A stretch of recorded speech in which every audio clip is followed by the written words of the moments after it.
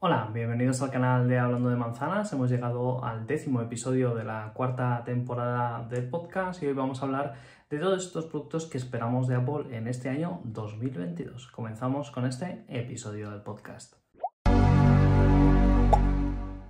Bueno, como digo, pues décimo, décimo episodio, que ya lo tenemos con nosotros. El último episodio lo grabamos justo antes, justo antes de, de Navidad, durante Navidad mejor dicho. Y bueno, pues ya que hemos empezado enero, pues quiero comenzar pues sacando un poco la bola de cristal y hablando de, de, los productos que se rumorea, que ya se está hablando bastante, que vamos a, que vamos a tener o que previsiblemente Apple vaya a lanzar eh, en este 2022. Hay productos que son muy sencillos de adivinar, como puede ser pues, toda la generación del iPhone.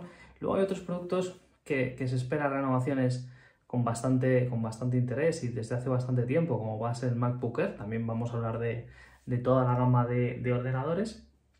Y por último también, eh, bueno, pues mencionar aquellos productos que pueden ser nuevos, sobre todo en accesorios, que yo creo que, que este es el año de, de, la renovación de algunos productos que quizás el año pasado por motivos de, de, stock y de fabricación sobre todo no se, bueno, no se actualizaron, que este año sí que se puedan, sí se puedan actualizar. Entonces, bueno, pues este episodio... Eh, que la verdad no sé, no tengo previsto lo que va a durar. Eh, espero no, enrollarme demasiado e ir, eh, bueno, pues punto por punto, pero sí que tenemos bastantes puntos y es un episodio, la verdad que de estos episodios muy interesantes con mucho contenido. Lo primero, el equipo de grabación que siempre comento. Estoy grabando hoy, que es 11 de enero de 2022 desde Madrid, desde España, y para el equipo de grabación bastante comprimido, bastante contenido hoy.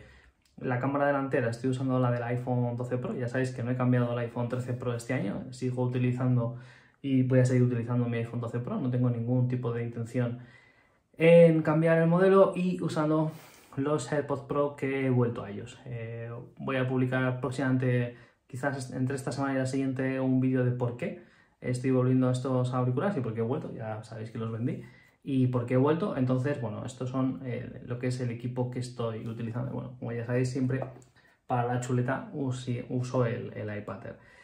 Entonces, bueno, pues vamos a hablar un poco primero de los accesorios. ¿Qué accesorios se espera que, que se renuevan? Pues precisamente estos AirPods Pro que llevo yo puestos, que son los de primera generación, que ya sabéis que tienen cancelación de sonido, que como veis se escuchan bastante bien, no estoy utilizando ningún otro tipo de micrófono externo, simplemente este y hablando a un volumen pues bastante, bastante normal. Y bueno, pues espera que tengan un nuevo diseño, eh, que se lancen en torno al tercer trimestre, es decir, en otoño de este año, quizás se puedan presentar en septiembre, en octubre, por ahí va a andar la fecha. Y bueno, en cuanto al diseño, pues que no van a ser de este estilo más puntiagudos, sino que pueden que sean más redonditos. Bueno, yo ahí vamos a verlo porque serían muy parecidos a los modelos que tiene Google eh, Pixel y los Samsung eh, Buds, entonces no creo que vayan a ir tanto por ahí, pero bueno, está por ver. Así que bueno, pero en cuanto a características y funciones no se ha hablado de nada nuevo, simplemente en cuanto a diseño. Entonces este puede ser uno de los productos que más se está hablando y quizás también en cuanto a la carcasa, si me estáis viendo a través de YouTube, los que escuchéis el podcast, pues no lo estáis viendo, esta es la carcasa de los AirPods Pro, que bueno, pues es bastante grande la verdad. Entonces quizás también los empeños de este, de este año, de esta segunda generación, también vayan en hacer una carcasa más pequeña. El segundo producto son unas gafas de realidad virtual, que se lleva rumorando de mucho, hace mucho tiempo. Eh, hubo, de hecho, hace unos años una moda con las Google Lens. Eh, se dejó de hablar de ellas. Luego ha habido, bueno, de todo tipo, ¿no? Televisiones con gafas 3D, tampoco llegaron a triunfar. Y algunas videoconsolas como PlayStation que han sacado juegos con realidad virtual que yo he jugado alguno y bueno, mm, no es un juego que vaya a dedicar muchas horas. Está bien para un rato, para estar con unos amigos y echarte unas risas, pero no es el juego que un gamer, una, una, persona que le guste mucho jugar, vaya a estar disfrutando de ello. Entonces veremos a ver cuál es el uso que Apple le quiere dar y cómo se utiliza, si tendremos que tener una pantalla en la cual la veremos, si tenemos que poner el teléfono. Veremos a ver cómo, cómo van a funcionar estas, estas gafas. Eh, se está rumorando muchísimo de ellas, ya se habla incluso de que podría utilizar el cargador de alguno de los ordenadores actuales, pero yo más que nada, más del hardware, me, me inquieta saber para qué los vamos a usar si va a ser solamente para jugar, si le van a dar un uso más allá de jugar y va a ser un poco más, más abierto, más interesante. Pero por ahora son todos rumores y, no se espera que sean lanzadas, al menos en mi opinión, antes, hasta antes de verano. La segunda categoría, que es muy interesante, es todo el tema de ordenadores. Eh, aquí tenemos, el año pasado se lanzó el, iMac de 24 pulgadas, un nuevo diseño, como ya ah, hemos analizado, y que fue muy chulo, la verdad, muy chulo. Entonces este año se espera que, bueno, se lance un nuevo, un nuevo iMac con una pantalla de, de más tamaño, en vez de 24, que también se lance una, podríamos saltar del 27 a 28 pulgadas, lo cual sería una pantalla pues bastante grande. También hay otros rumores que hablan de una pantalla panorámica. Aquí no estoy, no estoy yo tan seguro. Y lo que sí que se espera es que se incluyan los nuevos chips que se han incluido con los ordenadores Pro eh, portátiles como el chip M1 Pro y el chip M1 eh, Pro Max, que son los chips, como ya sabéis, que te dan el máximo rendimiento a la hora de editar todo tipo de vídeos o para tareas muy, muy exigentes. Este es uno de los posibles candidatos a ser uno de los ordenadores renovados este año. El segundo modelo es el Mac Mini, que lleva sin renovarse bastante tiempo y también se espera que haya un cambio de diseño, también un cambio un poco de los puertos, que se modernicen un poco, que algunos puertos la verdad es que llevan varios años sin, sin una renovación y eh, podríamos tener también los nuevos chips que son los M1 Pro y M1 Pro Max para tener pues ese pico de rendimiento que antes teníamos con los modelos i5 y i7 en el Mac Mini, pues que ahora lo tengamos eh, nuevamente de vuelta con el Mac Mini. Sin embargo, el producto que yo creo que más se espera este año es el MacBook Air. Son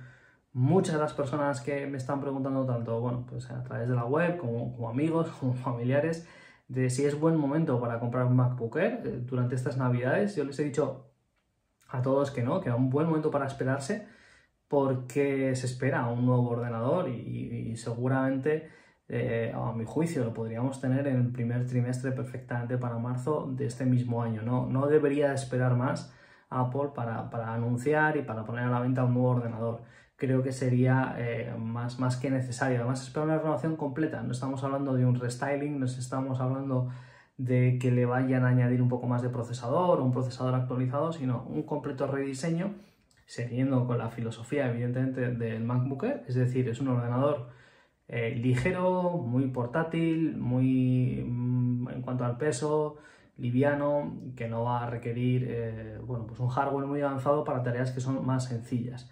Sería el estilo del iMac, entonces nos podemos imaginar esos bordes pues curvos, pero, pero ligeramente afilados. El teclado podría ser en blanco, que a mí es una de las cosas que a priori menos me gusta de los renders y todas las imágenes que he visto, que ese teclado sea en blanco. Mm, particularmente no me gusta demasiado.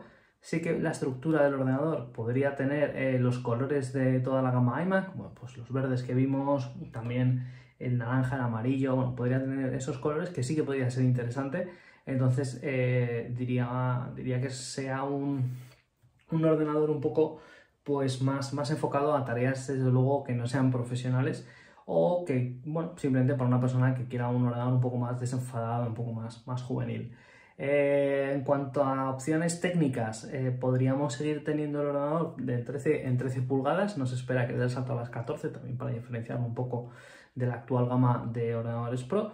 Mm, la pantalla sí que se va a mejorar al mini LED, pero no se va a incluir la tecnología ProMotion. Igual, es una cosa que podría tenerlo perfectamente, pero sería muy parecido a lo que es la gama Pro. Entonces, lo, que hará seguramente será no permitir esta opción en, los ordenadores. Sí que se va a incluir un nuevo procesador. No llevará los procesadores Pro ni Pro Max, ni muchísimo menos, sino el nuevo procesador M2 a secas, que va a ser mejor que el M1, pero eh, va a ser peor que el M1 Pro. Es decir, va a siempre a haber, eh, el MacBook Air debería estar siempre un escalón por debajo, como está actualmente, como ha estado siempre, lógicamente en cuanto a características y también se espera que en cuanto a precio, porque bueno, eh, la actual generación de los ordenadores Pro está claramente muy, muy, muy, muy por encima del precio lógico para un ordenador.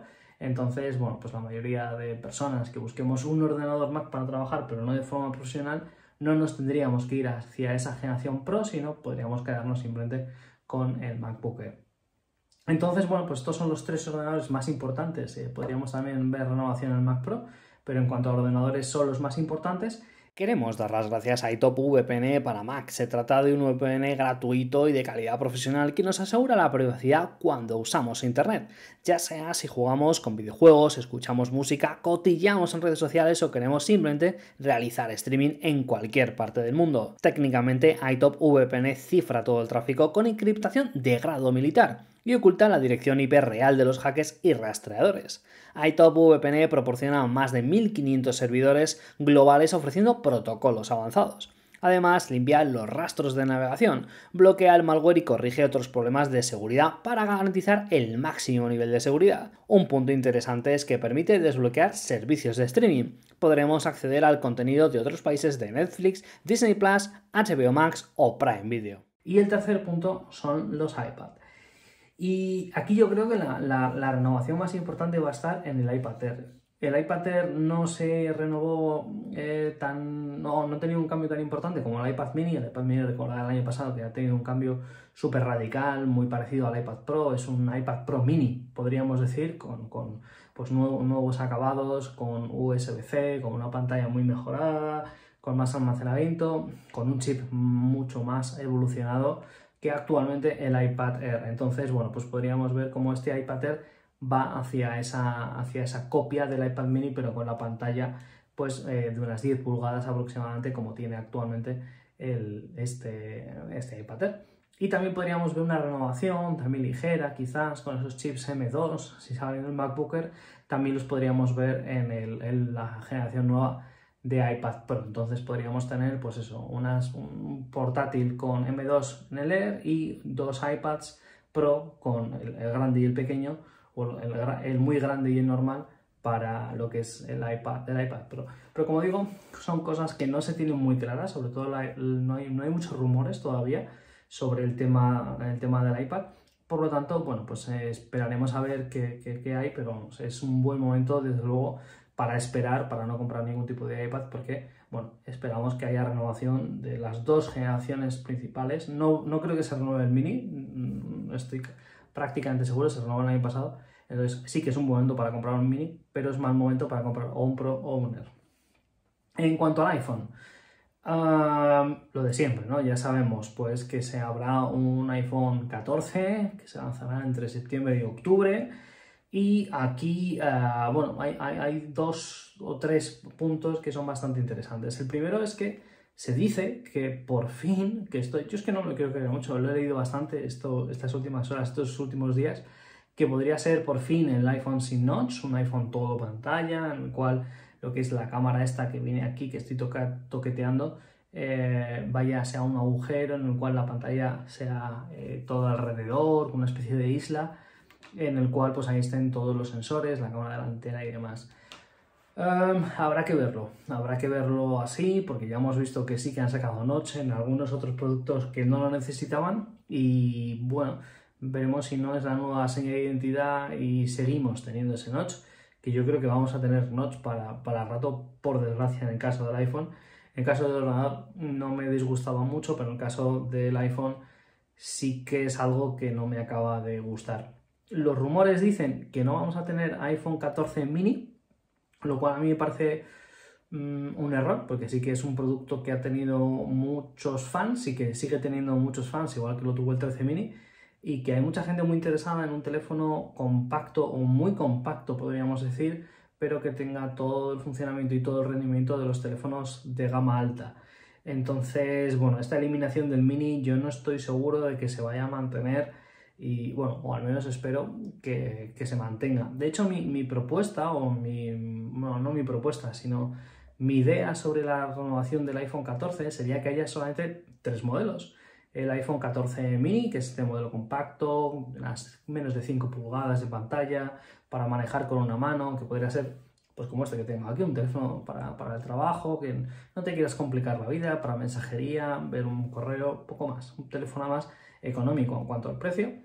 Luego un iPhone Pro, un iPhone 14 eh, o un iPhone 14 Pro, como lo queramos llamar, que sí que es el iPhone, pues como el que estoy usando yo ahora, que es pues con unas cámaras más mejoradas, con una pantalla con ProMotion, una batería más duradera, con mejores funciones. Y por último ya tendríamos lo que es el, el modelo más grande, que yo lo llamaría directamente Pro Max, como está ahora, pero el anterior lo llamaría iPhone 14 y iPhone 14 eh, Pro Max o iPhone 14 Pro, que sea el modelo más grande, que es. Así que le volvería a incluir no, no solo el aumento de batería que tiene por ser más grande, sino que le, volvería a añadir funciones que, eh, bueno, pues que el Pro a secas o que el, iPhone 14 no tenga.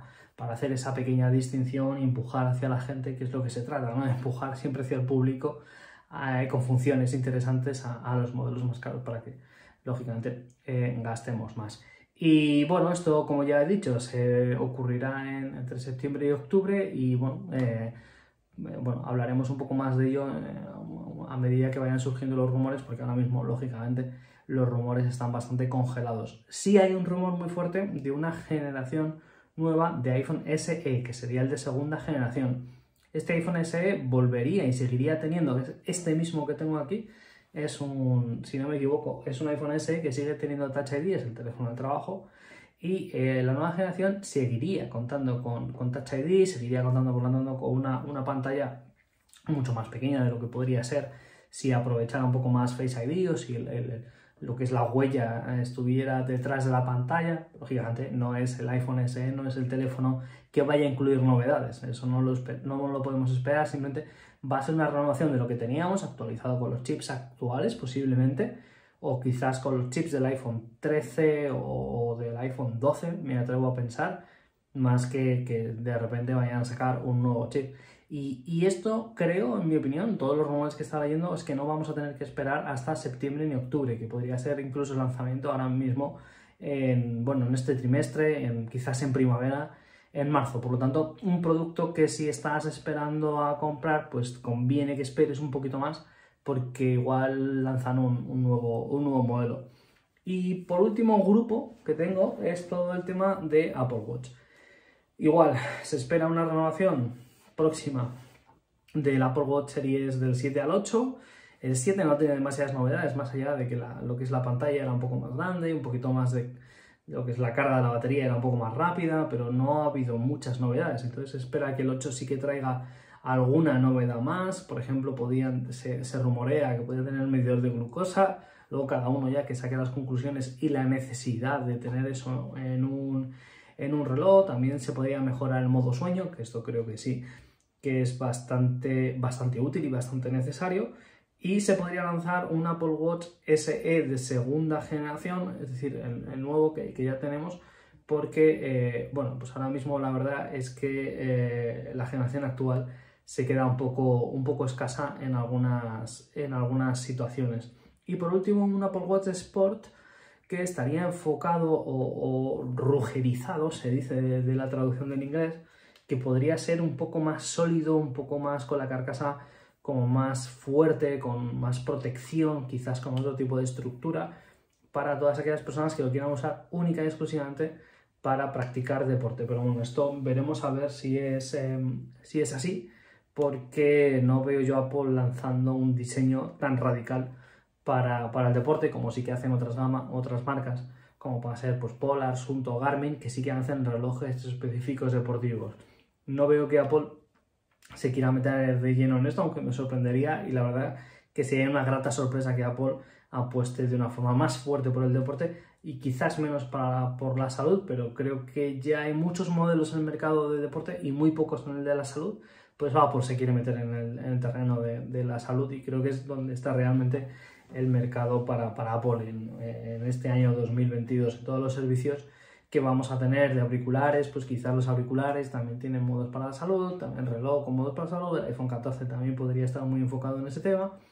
Y, bueno, pues hemos hecho un repaso, estoy repasando mis notas y bastante rápido, ha sido más rápido de lo que pensaba, de los productos que podríamos ver en 2022. Seguramente me haya dejado algo por, el camino. Eh, acabo de leer que los nuevos auriculares de Beats se presentan este día 20, de 20 al 24, eh, este enero. Y bueno, eh, lógicamente los, los, analizaremos, que no es un modelo que se lance este año, sino que se lanzó el año pasado y se pone ahora en enero a la venta tanto en Canadá como en Europa. Por lo tanto, no es un modelo pero lo analizaremos como si lo fuera. Y bueno, dejadme en los comentarios aquí abajo del vídeo, como siempre, qué os ha parecido este vídeo, si pensáis que vais a comprar algún modelo este año, qué modelo vais a comprar, si vais a comprar un iPhone, si vais a comprar un Mac. Y por supuesto, pues si queréis algún tipo de recomendación, también nos podéis dejar por aquí las preguntas y os contestaremos, como siempre, en función de la cantidad de preguntas que nos hagáis, pues intentaremos contestar a la mayoría, a la mayoría de ellas. Así que nada, este es el fin de este episodio 10 de la cuarta temporada del podcast. Nos vemos en el siguiente. Muchísimas gracias por vernos, por escucharnos y bueno, hasta el siguiente episodio. Chao, adiós.